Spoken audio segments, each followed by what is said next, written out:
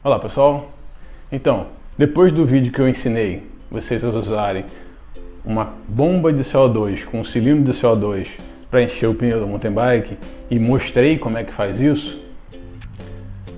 tá aqui ó, vou fazer a mesma coisa num pneu de speed para mostrar para vocês que um cilindro de 16 gramas enche um pneu de speed numa pressão alta alguma coisa em torno de 100 libras. Ao contrário do pneu da mountain bike, que ele só chega a 30, 40 libras. Tá aí uma boa coisa para falar. Por que isso acontece? Pressão é diferente de volume. Um cilindro de CO2 ele consegue encher uma, uma, um pneu de speed com alguma coisa próxima de 100 libras. E num pneu de mountain bike é alguma coisa em torno de 30 a 40 libras. Por quê? Porque aqui tem 16 gramas de CO2. Então ele consegue, como o pneu de speed é fininho e tem menos volume, volume, a quantidade de CO2 aqui, 16 gramas, faz o pneu chegar à pressão de 100 libras. Na mountain bike, a mesma quantidade de CO2 faz o pneu chegar a quase 40 libras. Essa é a diferença.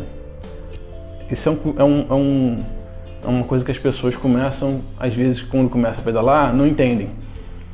Ah, com qual pressão você usa? Pô, mas esse pneu aí é muita pressão, menos pressão. Tudo bem, mas você não pode confundir com volume de ar. Então tá aí a dica. Mas vamos lá, a gente veio aqui então para encher o pneu. Um, vou primeiro aqui localizar a válvula. Vamos esvaziar aqui o pneu.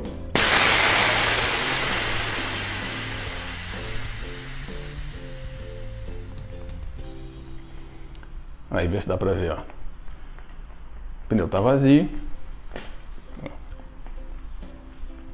Joia? Mesma coisa, ó. Cilindrinho capado. Para quando gelar não grudar na pele. Mesma bombinha de CO2 que eu usei da outra vez.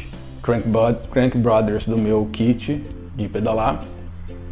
Vamos atarrachar ele aqui.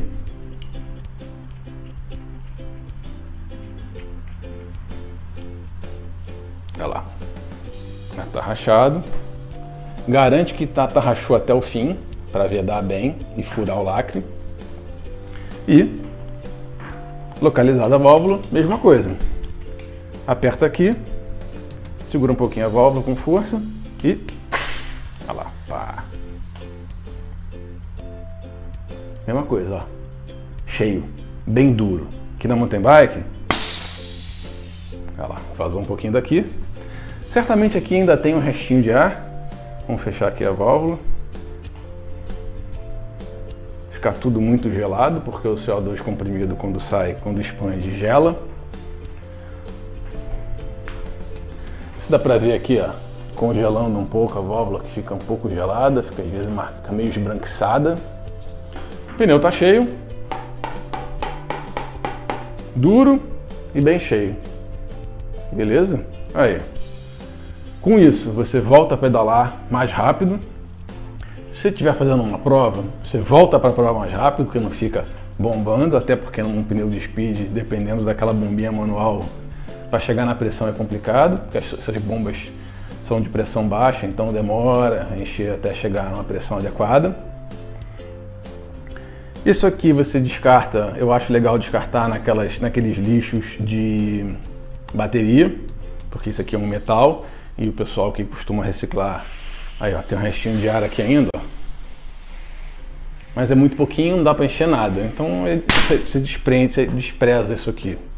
O volume, a quantidade de CO2, apesar de dar uma pressão significativa, não seria capaz de encher é, é, um outro pneu novamente. Então não adianta. Isso aqui são 16 gramas. Existem, existem cilindros maiores para pneus daqueles largos que tem um volume alto e aí você precisa, você precisa comprar um, um cilindro, acho que de 22 gramas. Mas enfim, depois de usado, isso aqui é descartado. Eu estava falando do lixo, joga no lixo de bateria, porque esse metal aqui pode ser reaproveitado e reciclado. Isso é legal, pensar em sustentabilidade, né? Apesar de ser um luxo você gerar lixo, eu acho que vale o conforto. Você compra isso aí hoje em dia por alguma coisa em torno de 15 a 20 reais. Não é para usar toda hora. Eu acho que é legal você usar em situações que você está em prova, né, em competição, ou quando você está em situação de risco. O que, que eu quero dizer com risco? Você está na estrada pedalando, que passa caminhão, está no acostamento, e é uma coisa que pelo menos eu não acho nem um pouco agradável, né? É, fica um pouco de olho na estrada e vai fazendo aqui teu procedimento para encher o pneu logo e voltar a pedalar logo em movimento, que eu acho que além de ser mais seguro do que ficar parado, é o que a gente quer, é o que a gente gosta, pedalar, não é? Pessoal, fica a dica aí. Qualquer dúvida, manda mensagem, a gente troca umas ideias e, e aprimora os conhecimentos. Pessoal, quem gostou do vídeo, dá um like na marca aqui, marca os pedaços, compartilhe o vídeo nas redes sociais, assina o canal. Falou? Coisa importante, vamos chegar nas 100, nos 100 assinantes para a gente conseguir aquela URL personalizada que fica youtube.com/barra pedaços e aí a gente vai fazer aquela promoção que eu falei tem umas coisas novas aí chegando para fazer a promoção ainda ficar mais legal. Um abraço, até a próxima.